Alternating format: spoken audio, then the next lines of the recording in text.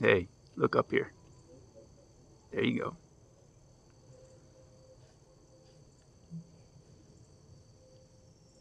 You like it? Is it good?